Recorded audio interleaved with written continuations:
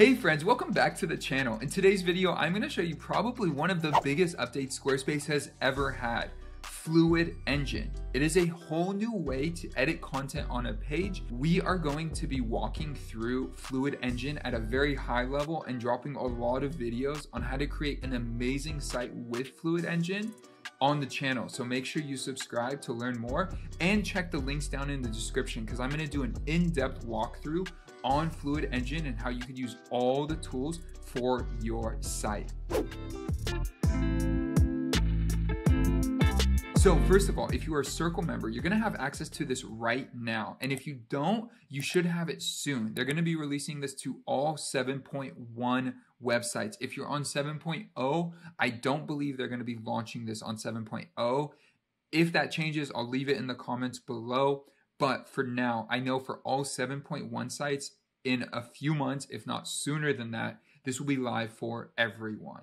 Okay, so let's take a look. If you're a Circle member, you just go to Settings, Circle Labs. And once you do that, Fluid Engine, just click that on and hit save. Then you can go into the editor and start working some magic. All right, so let's go back.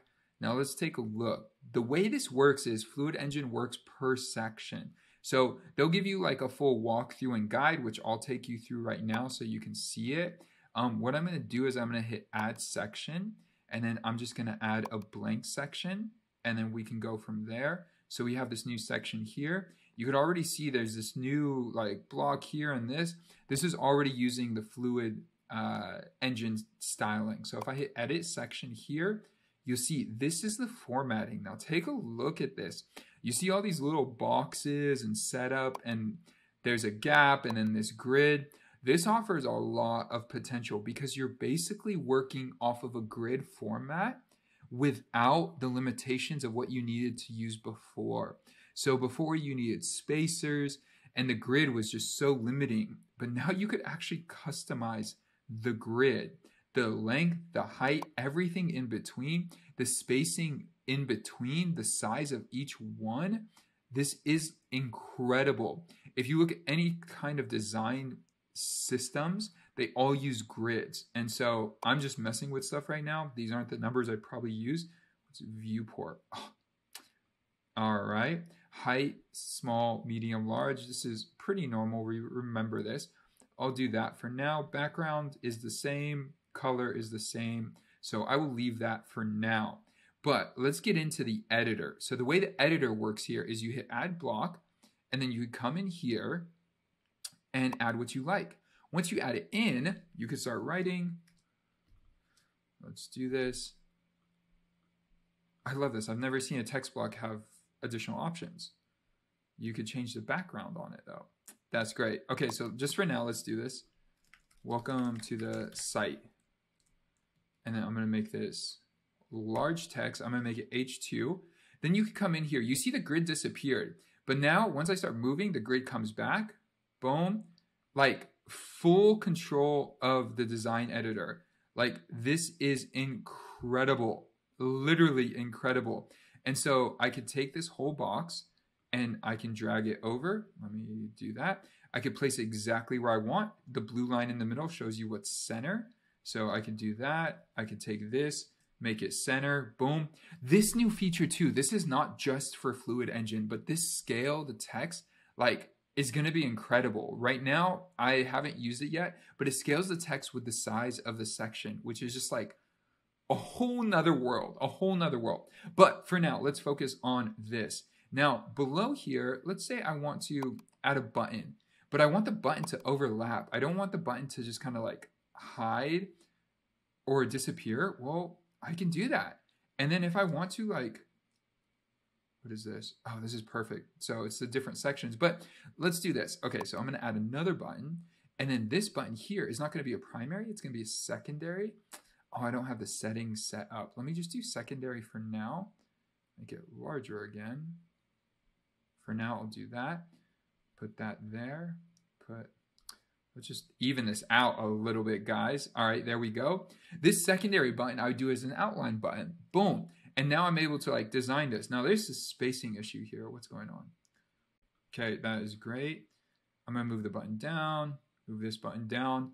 Beautiful. So I just have so much more control than what I used to have before. Fluid Engine is literally next level. This is going to take us to a whole new world um, of design. I just think Squarespace is going to be amazing. Now, I could sit here and design stuff all day and show you, and I will as I get further into this. But here's a couple tips for new designers. If you're designing your first website, Fluid Engine is going to be a bit of a headache because if you don't know how to design a site already, it's going to be a bit of work to get comfortable with it. Overall, though, it's a really amazing tool for certain sections. So you don't need everything to be operating under Fluid Engine. And it's actually cool that it doesn't have to work that way. Because if you go back here to this section, you could see it's the plus signs. So I can go into this section here and say convert. And then I convert that into a fluid section. And then from there, I can make edits. Now let me see. It doesn't look like it gives me control to go back if I don't like it, which is a bit of a bummer. But mm, at the same time, it's not the worst case scenario. If I hit the back button before I hit save, it worked. It took me back. So that's helpful. But overall, look at the potential of this. Like, this is literally incredible. The only complicated part, too, again, for those new, like if you're designing a website for the first time, is going to be if you go to mobile, you'll see it laid out really nicely here, like really nicely. And I'm actually quite impressed. Um, but you would probably have to control this at some regard as well. And this is where I think there's magic here because check this out. Now I'm gonna, I'm just actually gonna, I'm gonna leave this and I'm gonna do one other thing. I'm gonna add a few sections here and then I'm gonna come in here. This is so cool. Okay, so I can't add, I can't add a block in the mobile viewing, but if I come back here, add a block, I'm going to add an image. And what I'm going to do is I'm going to place the image down here. And what I'm also going to do is I'm just going to make it really small. See, before in Squarespace, you couldn't do this. And the reason this is valuable is like if you need a small icon or something, you can easily control it. But then if I come into the editor here, it gives me the opportunity to control it and just make it the exact size I want. So if I want to upload like a small little icon, like a cool little graphic, I can do that. I remember seeing a site recently that had this. So here's a great example. This is a website called circuitriders.com. You could see here, this is like not the best because it's just a fake like mobile design. Let's do iPhone 12 Pro. Make that adjustment. Did it change anything? It didn't. Let's do Pixel 5. Change a little bit. I think it's throwing it off just a tiny bit, but let's do the iPhone 12 again. Um, the graphics like you could have little images like this on your page where before you could never do that in Squarespace by default.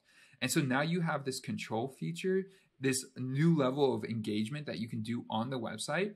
Um, that is just beautiful. I could have a little image here and then I could have another one next to it. Not a big deal. I actually really hope they add the copy and paste feature here. That would be amazing. Um, so you could like click on an element and hit copy and paste. But hey, I can have that element there, put it and and change it around on mobile. Cool part here too is I can have it right here on this. And then let me go to mobile and it stays where it is on mobile. Did you see that? That is so impressive. So it can literally be up here for desktop. And then if I want it on mobile, I could have it down here. Full control. I don't see anything that says like hide on mobile or hide on desktop, but this is amazing. Like this is really cool. Again, let me just come in here, add another block. Let me add like a gallery and see what this can look like. Let me see. So I can just, there's just so much control. Wow. Okay. So let's just make this smaller and make this smaller here, move it up it just grows as you go. So let's do that. And then boom. Literally, I could just throw this anywhere. And whatever the functionality is of the block, it can operate there, which is great. Let's align vertically. Oh, this is great. This is so good. Okay, this is a really good user experience. I'm like very impressed. Very, very impressed. The gallery is here. I don't know why there's a lot of extra space. I'll just do that perfect, got rid of it. and then go back to desktop here. Again, it keeps it. Um, this extra space here, I can get rid of, can get rid of, cool. I could bring it up to there. So boom, that is now the intro section. Look at that. Now, obviously this isn't the best design, but this is also why I said earlier, if you're a brand new designer, I try to stick with what Squarespace gives you out the box. Like initially, in a few months, this is going to be really well developed. If you are a designer, this is going to be a huge upgrade for you. In my personal opinion, I imagine I will use this for like 30 to 50% initially, 30 to 50% of sections. The other 50%, I'm going to keep very basic and clean because when you start to do a lot of overlapping and a lot of different like cool tricks, well, the consistency gets a little bit funny. So this is a way to keep the site consistent, but then still add a nice touch and flair. I mean, this section here already, in my opinion, can be so cool because I can add in photos in the background. So I can move this back. Let's move it back. Cool. And then add in an image. Let me just go to select from library. Cool. Let's just use that. Boom.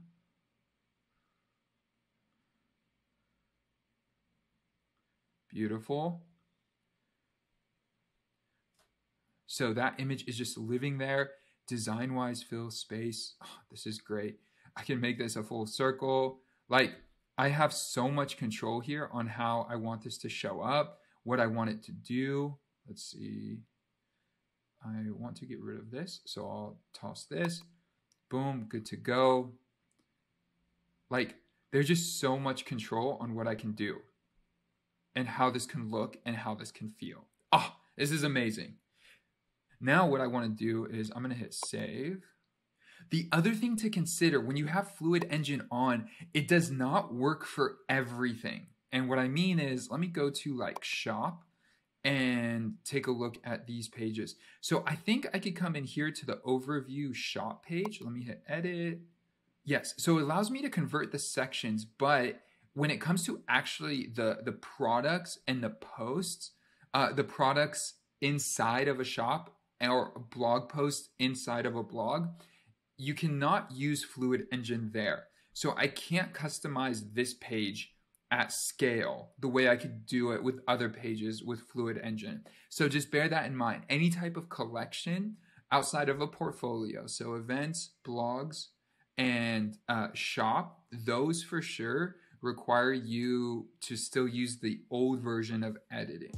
Friends, if you got value from today's video, hit that like button. When you hit the like button, it tells me that you got value from today's content. It tells the YouTube algorithm some fancy, important, critical information, but it tells me you got value from today's content. Next, if you want more resources for your site on Squarespace, anything from SEO to blogging, check out the links below. We have so many resources on our website and we're publishing new resources each and every month. So we have plugins, we have downloadables, we have free downloadables, we have blog posts, we have a ton of content, we have a ton of services, a ton of great things for you. Finally, if you want more content just like this, consider subscribing. We publish three new videos a week. My mind is blown that we're publishing three videos a week. It is a lot of content, but we're doing it for you. So, three videos a week. If you want more, consider subscribing, and I will see you guys in the next video. Peace.